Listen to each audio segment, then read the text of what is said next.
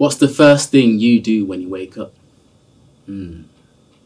When I wake up, I say a morning affirmation. That's the most important thing you can do when you open up your eyes in the morning for the first time is to say a prayer, hold a meditation, do some yoga, exercise your mind by reading a book or simply say thanks when you wake up, you know. What's the first thing you do when you wake up? Me?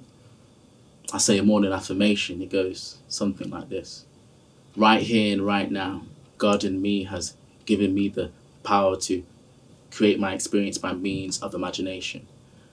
I am using my imagination to see all the good I desire in my experience. I am visualizing positive, happy, loving, successful experiences. I see myself being, doing, and having all the good I desire right here and right now. Thank you, Father. Thank you, God in me.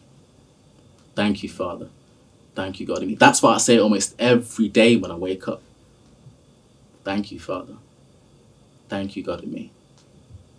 Thank you, Father. Thank you, God in me. Thank you.